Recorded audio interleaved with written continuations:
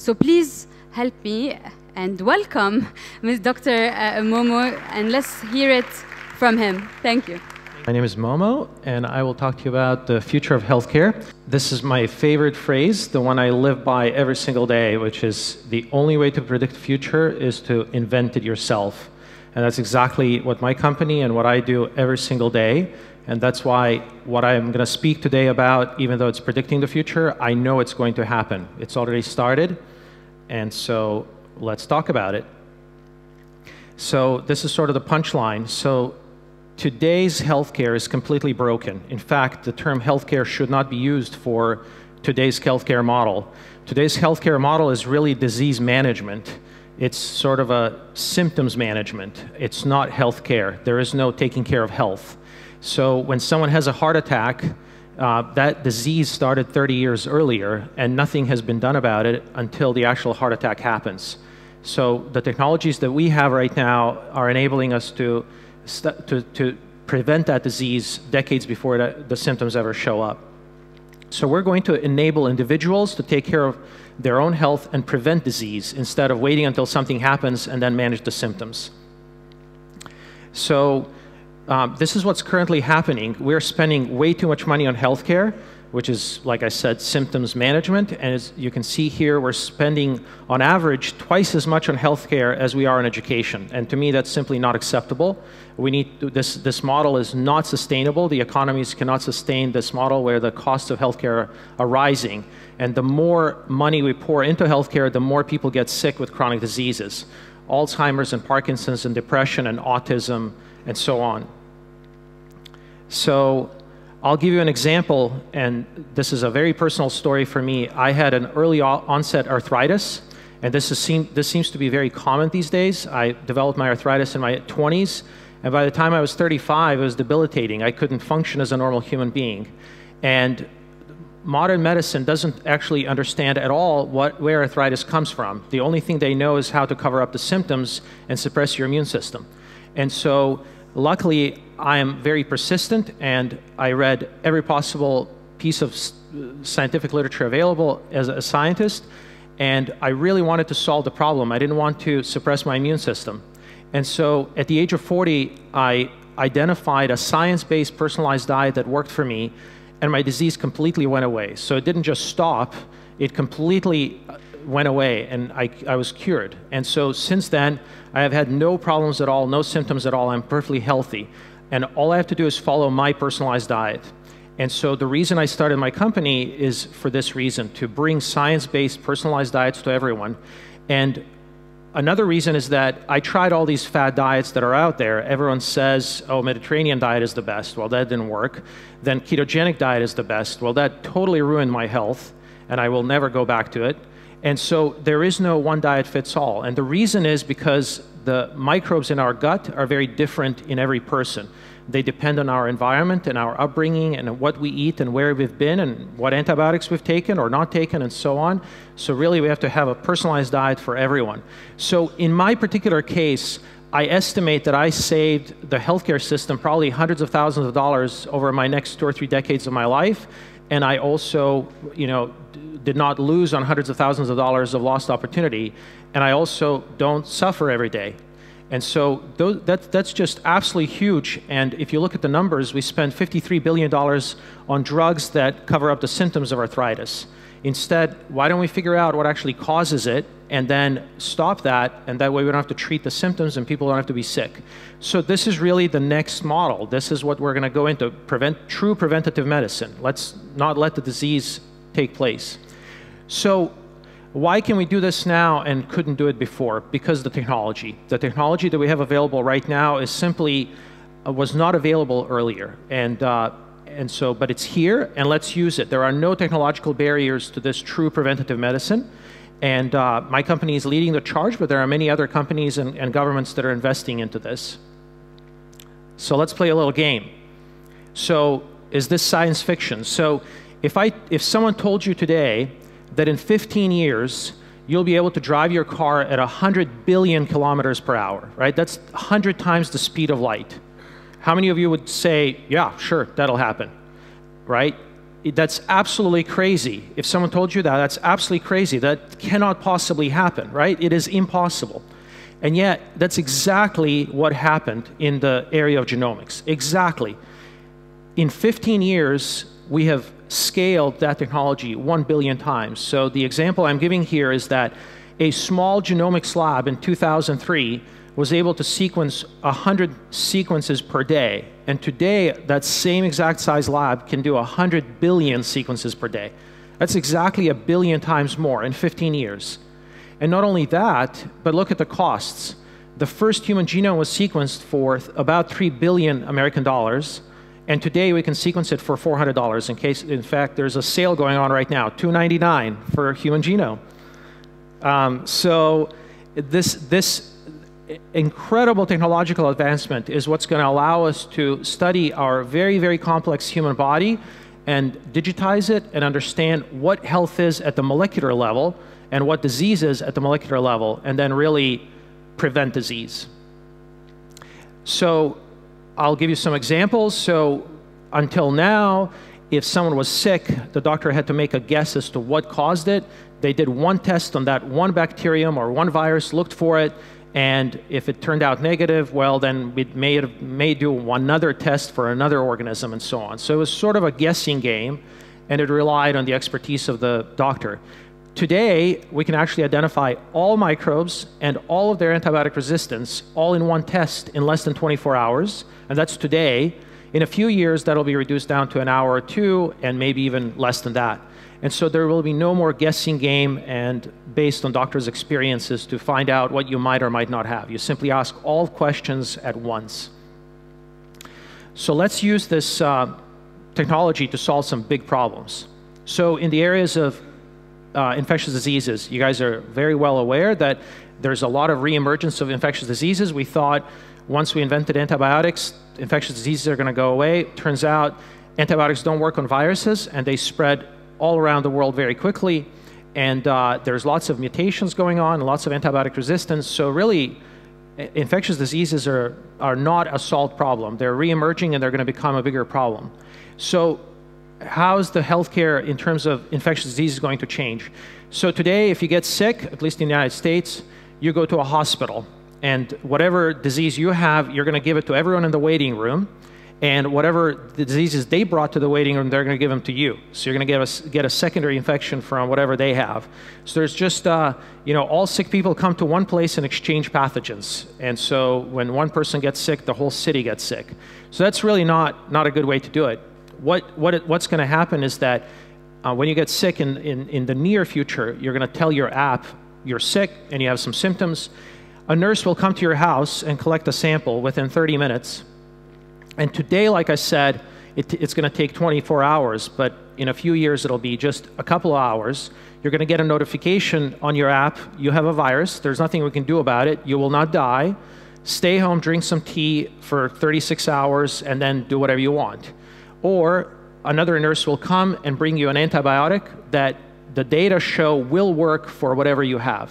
So that's really precision medicine brought to infectious diseases. We're not going to be prescribing antibiotics for headaches, which is exactly what happens today. If you have a headache and a sore throat, you can go to a doctor, and the doctor has no clue what you have, uh, but you say, I really want to get rid of whatever I have, give me some antibiotics, and they'll give you antibiotics. So we're overusing them. So chronic non-communicable diseases, these are really the next uh, generation of diseases that are on the rise. And so the, the ones that I listed are some of the biggest ones. So depression is the number one disease in the world. About a tenth of the population has depression, which leads to many, many downstream problems for those people. So we really need to get rid of that. It turns out that the gut microbiome directly controls your brain, and depression is directly controlled by the gut microbiome. So we're going to make some huge progress in depression very quickly here. But all those other diseases listed there are directly affected by the gut microbiome and our environment. And so if you look at that graph that, I that I'm showing, currently in the United States, one in 60 children will, be, will develop autism spectrum disorder. And if you look at a developing country that doesn't use so many antibiotics and preservatives and is not super sterile, that rate is a hundredfold lower. So really, modern life where everything is sterile is not good. We're putting antibiotics and preservatives into everything, we're sterilizing everything to death, and we're leading too clean of a life, and we don't spend time in nature. So we really need to change that. So, what determines health versus disease? So, our body has 20,000 genes that are human genes, but we also have a million genes coming from our gut microbiome. And so, it's really the gut microbiome that, that controls our health and disease the most, and they produce tens of thousands of chemicals that we depend on. So, if you look at the balance of health and disease, it's really the human genes, the microbial genes, the environment, and the diet that all determine health or disease. So, what is the human gut microbiome or microbiome in general? So, there are 40 trillion microorganisms living on our bodies every day, on every one of us, and 99% uh, of those organisms live in our gut. And uh, they're associated with most chronic diseases. And uh, the nice thing about the gut microbiome is that we can change it. We can't change our genes, but we can change our gut microbiome fairly quickly. You just start eating a different diet. And that's why some of these diets work really well for some people. So that's a very important concept. So let's talk about a specific case where we can use gut microbiome to help with our health. So you all have likely heard about the glycemic index. So this diabetes is a huge problem worldwide, and it's a really rapidly growing disease. And glycemic index is a very important thing. Um, it tells you basically for any food how high the blood glucose will reach in your blood. And uh, the glycemic index, if you go look it up on Google, it'll show you the average person glycemic index. It turns out that none of us are average. We're all different. And so I'll show you here, we've done a, a, large study, and here's just one example where two people are fed two different foods, and they respond completely different, differently to those different foods. In one case, one food spikes the blood sugar really high, and the other one does not. And in the other person, it's completely the reverse. And so by looking at that average glycemic index, it doesn't really tell you anything. It just tells you what the average person is like, but that doesn't exist. It's you here. So we really need to bring personalized medicine, precision medicine to this area and enable people to manage their blood glucose without having to guess. So how did we do that at my company? So we ran a large clinical study. We enrolled 550 uh, people and we fed them 25,000 meals over a period of a year. So it was a very large study. And we monitored their glucose and we performed our gut microbiome test. And we fed this vast amounts of data into a supercomputer and developed machine learning models that can now predict for every single person what their personalized glycemic index is. So our customers in about a month will have the ability to provide us with a stool sample, and once we analyze it, we can tell you exactly how each carbohydrate-rich food either, alone or in combination with certain fats or certain proteins, will spike your blood sugar. And that way, whether you're healthy or pre diabetic or diabetic, you can manage your sugar and it's just for you. You don't have to look at the average. So, this is a science based diet to fight diabetes, and the technology is here, so let's use it. So, I'm really excited about pancreatic cancer, for example. We're launching a study on that. So right now, if, any, if someone asks you, will you get pancreatic cancer? The answer is, I have no idea, right? No one knows. It's a completely random chance, it seems. But it turns out that pancreatic cancer is caused by bacteria that live in our guts, in our intestines. And so now we're on a quest to figure out exactly what are the molecular events that lead to pancreatic cancer, and then we will likely be able to prevent them with simply a personalized diet. And then what I'm hoping is that we're going to have on our app a graph that looks something like that, where we show you if the graph is flat, that means you will not get pancreatic cancer. If it starts to go up, then you're in danger of getting pancreatic cancer. You better follow your diet and knock it back down. But you'll have a readout of what's going on at the molecular level. If you don't have that, a genetic test today may tell you you have a 3.2% higher chance of developing pancreatic cancer. What are you going to do with that information? Absolutely nothing, right? You're not going to stop doing what you're doing. You're not going to change your, your lifestyle or diet. But if you see it live on the graph, if you do this test every three months and it starts to go up, you're going to know that at the molecular level you might get this disease. You are getting the disease, and you're doing this pre-symptomatically, and so you're going to change your behavior because you're getting real-time data. You're not getting some chance. So it's very actionable. So what's the future of healthcare going to look like? So we're going to enable individuals to take control of their health and not wait until they have disease. That's really the, the biggest concept here.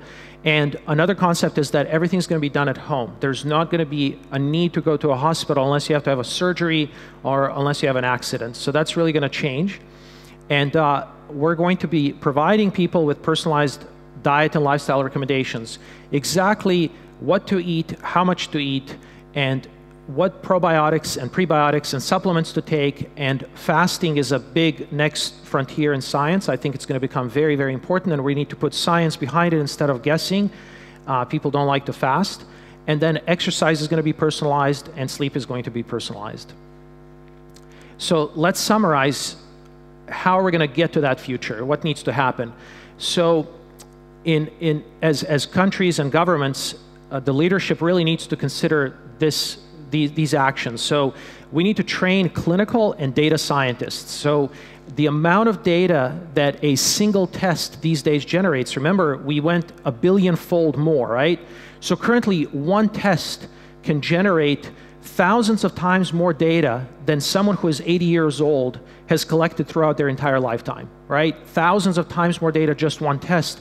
And if we do multiple tests every three months, the amount of data we generate is vast. And when you do that on a population scale, you really need some big supercomputers and you need people who are trained to analyze such vast amounts of data.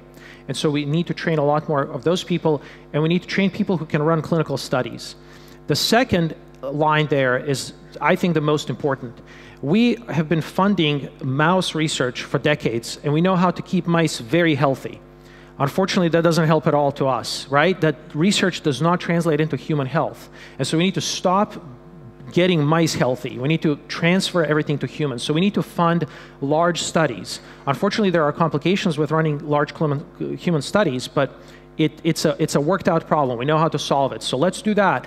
And the key word there is large. If you, if you do a study on six humans, you're not actually going to help the rest of the country. You're, you're not. You're only going to help those six humans.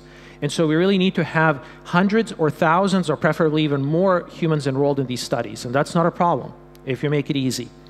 Our, our study participants are very happy to participate, so we can make it very fun. So um, we need to provide less expensive computing so we can analyze all these data. And then we really need to educate the public. So this is sort of a new concept. The public is used to waiting until they have a heart attack or wait until they have Parkinson's or Alzheimer's or diabetes, and then they go to a hospital and hope for a pill that will, sol- that will solve their problem. That's what, that's what basically people are trained to do. We need to retrain them to think that we can take control of our own health and maintain health and prevent disease from ever happening. So we need to teach them the power of prevention and the importance of these personalized diets. Thank you very much for your attention.